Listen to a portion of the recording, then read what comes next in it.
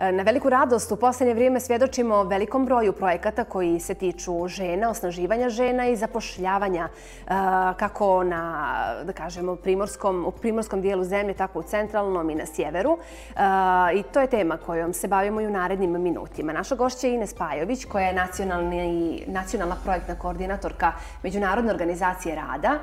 Tema gostovanja je aktiviranje žena i šta zapravo spada pod ovaj projekat i koji su su to, da kažemo, aktualni projekti koje Međunarodna organizacija rada organizuje u Crnoj Gori. Saznaćemo u narednim minutima. Dobrodošli. Bolje vas našla. Dakle, šta kaže statistika? Šta pokazuje kada je riječ o ženama na tržištu rada? Svi smo svjesni da je pandemija uticala na, na sve segmente našeg života i kako je ona uticala na, na poziciju žena na tržištu rada? To je tačno. Statistika pokazuje da je stopa nezaposlenosti radno sposobnog stanovništva prije pandemije bila oko 15,5%. Prošle godine po anketi radne snage koju je radio Monsta ta stopa bila 16,6%. Od toga pokazuju da su žene koje su nezaposlene čine znači 16% radno sposobnog stanovništva. Kada govorimo o mladom stanovništvu, znači to su ljudi od 15 do 24 godine starosti, stopa nezaposlenosti je također visoka. Prije pandemije ona je iznosila 25%, a sada iznosi nekih 37% nezaposlenost žena ove kategorije je 33%. Dakle, brojevi su prilično visoki. Međutim, kada govorimo o stopi nezaposlenosti žena, moramo govoriti i o stopi neaktivnosti žena. Mhm. Ona je prošle godine iznosila 47%. Jedan od glavnih razloga, odnosno jedna trećina anketiranih je odgovorila da je razlog zašto su neaktivne upravo briga o djeci i starima, odnosno porodični poslovi i porodične obaveze. A 40% njih je voljno da radi. Tako da su to statistički podaci koji nam pokazuju da je odista od velike važnosti da aktiviramo žene u Crnoj Gori da se priključe tržište rada. To su vjerovatno i glavni razlozi za takvu poziciju na tržištu rada, tako? Ne samo to što ste dobili kroz anketu, već i generalno gledajući. Da, glavni razlozi, neko bi rekao možda da je u pitanju obrazovanja, međutim, nove generacije žena do 39 godina starosti pokazuju da one imaju viši stepen obrazovanja od muškaraca. Međutim, žene često biraju drugačije polje studiranja, često su to društvene, odnosno humanističke nauke, što samim tim e, vodi ka lošijim mogućnostima za zapošljenje. Naravno, uvijek su u pitanju individualni faktori, ali e, pokazuju nam istraživanja da e, kada govorimo o individualnim faktorima, to su obrazovanje, broj djece i starost koje kao glavni faktori koji utiču na vraćanje žena na tržište rada. Kada su u pitanju institucionalni faktori, onda mhm. govorimo o socijalnim politikama.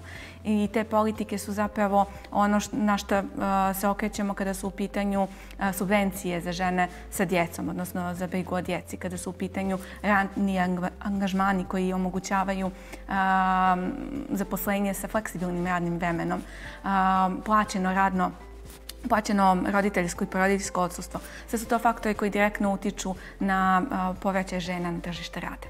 E sad onda je sjajno ako uzmemo u obzir to da podrška ženama na tržištu rada u okviru aktiviranja žena projekta zaista nudi mnogo toga. Hoćete li nam predstaviti o čemu se radi, gdje je zastupljen e, taj projekat, odnosno čijim pokroviteljstvom se realizuje, u kojim gradovima? Naravno. Sam projekat, odnosno sama mjera aktivacije žena napravljena je po uzorima na Evropsku uniju, a u saradnji sa tada Ministarstvom rada i socijalnog staranja, sada Ministarstvom ekonomskog razvoja. Sama mjera imala za cilj da ublaži efekte COVID-19 na svijet rada u Crnoj Gori i samim tim na broj žena koje su zbog COVID-a i zbog obaveza, porodičnih obaveza, odnosno brige o djeci, napuštale tržište rada. Mjera je, e, se finansira kroz dva projekta. Prvi projekat finansira e, zajednički fond Ujedinjenih nacija za održivi razvoj.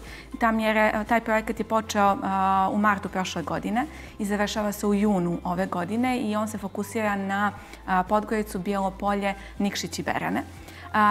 I drugi projekat finansira Evropska komisija i on se fokusira na primorske opštine, kao što ste već rekli. Ono što je e, važno naglasiti jesu glavne karakteristike tih projekata. E, kome su namjenjeni i na koji način, koji su to koraci u stvari koje ste prilagodili sadašnjoj situaciji u Crnoj Gori kako biste e, ovu, ovu problematiku podigli na neki kvalitetniji nivo u smislu rješavanja problema? Cilj samog projekta je upravo aktivacija žena sa djecom pečkolskog uzrasta, mm. znači do šest godina. Projekat koji se primjenjuje u centralnom i sjevernom dijelu Crne Gore ima za cilj aktivaciju mladih žena, znači od 24 do 30, od 25 do 34 godine starosti. A kada govorimo o južnoj regiji, onda su u pitanju žene od 25 do 39 godina starosti. A, pored, naravno, žena, korisnici ovog projekta su i firme, odnosno poslodavci kroz različite vid subvencija. A, ono što je negdje glavna karakteristika projekta jeste način na koji se aktiviraju žene. A, nije pasivno kroz samo mentorstvo, kroz razgovor, kroz psihološku pomoć e, i tome slično, već postoji nadoknada za aktivaciju koja se daje u, u trajanju do šest mjeseci, nadoknada za transport za one žene koje žive u ruralnim predjelima opština i nadoknada za brigu o djeci, koja se daje po broju djece prečkolskog uzrasta. A za poslodavce, naravno, u pitanju je subvencija. Ono što se razlikuje od ostalih projekata jeste što poslodavac je dužan da potpiše ugovor u trajanju od šest mjeseci, a za tri mjeseca tokom kojih traje obuka dobija i subvenciju. Da li je broj učesnika ograničen i jeste li zadovoljni brojem zainteresovanih poslodavaca? A, broj učesnika jeste i nije ograničen. A, broj učesnika je naveden kao minimum u oba projekta i on iznosi 60 a, žena. A, međutim, mi imamo puno veći broj žena koje su zainteresovane i onda se trudimo da što više moguće njih uključimo u ove projekte. Sa druge strane, kada su poslodavci u pitanju, to baš nije slučaj. Ono što nam je pokazalo implementacija ovog pilot, ovih pilot projekata u poslednje vrijeme jeste nezainteresovanost ili jako slaba zainteresovanost poslodavaca. Ovim putem stvarno koristim priliku i da ih pozovem jer su trenutno otvorena dva javna poziva za oba ova projekta. Mogu se informisati na sajtu Zavoda za zapošljavanje i dobiti više informacija. Javni pozivi su otvoreni do 15. aprila. Možemo li to pomenuti koji su to benefiti za poslodavce ako bi učestvovali u ovom projektu? Poslodavac prije svega dobija mogućnost da tri mjeseca obuči ženu za poslove koji su njemu potrebni. A drugi benefit jeste što dobija 70% subvencije od minimalne bruto zarade. Naravno, to su negdje dvije strane istog novčića. Sa jedne strane dobija mogućnost finansijske nadoknade, a sa druge strane mogućnost da prilagodi ženu koja možda nema sve kvalifikacije ili nema sve vještine koje su njemu potrebne za ono što je njemu potrebno i samim tim je zadrži na duše. Eto, nadamo se da će zaista biti više zainteresovanih. Kad to tako predočite, onda zaista zvuči sjajno. Uh, ajde da se okrenemo malo i prokomentarišemo Crnu Goru. Uh, ako uzmemo u obzir da je konkretan projekat pod e, podrškom Evropske unije i politike Evropske unije, dobro su nam znane kada govorimo o njima, koliko su u praksi u Crnoj Gori one evidentne. Pa kada govorim upravo o ovim projektima i njihovom pilotiranju, moram da istaknem da smo naišli na dosta izazova. Mhm. I tu smo naučili koliko možda nismo usklađeni sa Evropskom unijom, koliko mislimo. Evo upravo kada su ovi projekti u pitanju, imamo situaciju u kojima kada imate dva javna poziva, gdje na jednom pozivu imate subvenciju od 70% i obavezu zadržavanja, odnosno retenzije te korisnice tri mjeseca posle ostvarenih benefita subvenciju i drugi poziv koji vam daje 100% subvenciju, što je praksa do sadašnja Zavoda za zapošljavanje, poslodavac će uvijek ići onamo gdje mu je veći benefit. A to nije praksa Evropske unije. Po standardima Evropske unije, subvencije koje poslodavci dobijaju kroz Zavode za zapošljavanje obično su od 50 do 70% minimalne zarade.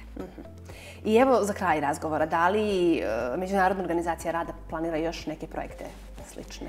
Međunarodna organizacija rada konstantno radi na nekim projektima i u poslednjih, e, mogu slobodno da kažem, dvije do tri godine veliki akcent stavljamo na žene i na mlade. Upravo smo završili jedan projekat koji je imao za cilj da se aktiviraju nezaposlene žene u opštinama Bar, Herceg Novi i Kotor kroz lokalne partnerstva za zapošljavanje i obuku koja je rađena po metodologiji Međunarodne organizacije rada Get Ahead, odnosno poli preduzetništvo. Pošto je bilo veliko interesovanje upravo za tu obuku. Mi smo odlučili da u narednom periodu u maju i junu organizujemo novi set obuka. Za sad smo dogovorili obuke u opštinama Podgorici i Baru, ali eh, vjerujem da ćemo imati prilike da o tome dodatno prediskutujemo. Eh, naravno, eh, još jedna stvar na kojoj aktivno Međunarodna organizacija rada radi sa Ministarstvom ekonomskog razvoja u ovom trenutku je garancija za mlade, tako da negdje pokušavamo da pokrijemo i žene kao kategoriju koja je donekle i nezaštićena i mlade koji, obzirom na trenutnu ekonomsku situaciju, najviše ispaštaju. Ali vjerujem da ćemo u narednom periodu imati mogućnost da i o tome razgovaramo. Nadamo se da će biti prilike. Vama hvala puno na ovom gostovanju. Još jednom evo apel da se sve dame koje su se pronašle u ovoj priči, možda ne garantuje zaposlenje, ali garantuje učenje nekih novih vještina, ako sam dobro shvatila, što bi bio neki puls u CV-u svakako. Hvala vam još jednom.